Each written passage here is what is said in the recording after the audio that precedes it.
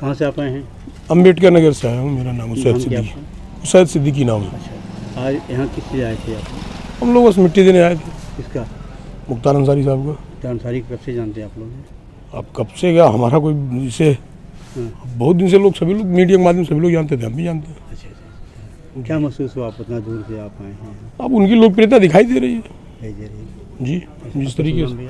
शमशाद फारूकी अंबेडकर नगर। अंबेडकर नगर। उतनी दूर से आप मान लो आए हैं फातिहा पढ़ने के लिए कोई तो हमदर्द कोई दिल में रहा होगा।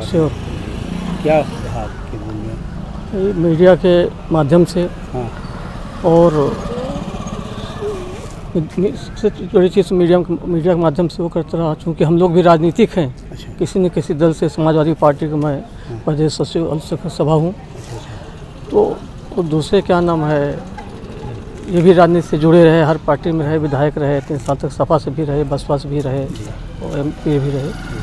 तो जानते रहे वो करते रहे तो मोहब्बत में आए इनकी ताजदारी में।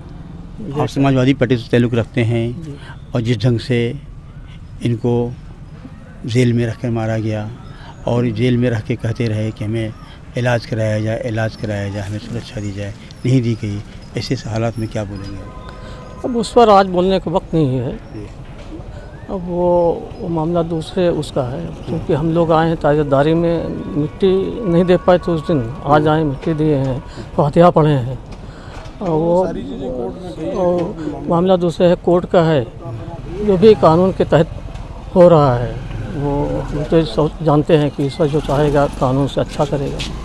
और जो हुआ है दूध पानी अलग होगा, उसके खिलाफ भी कार्रवाई होगी अगर इनके साथ, जैसा कि हम लोग सुन रहे हैं कि जहर देकर मारा गया है तो जो लोग उसमें होंगे, वो भी फंसेंगे, उनकी भी हालत ऐसी होगी।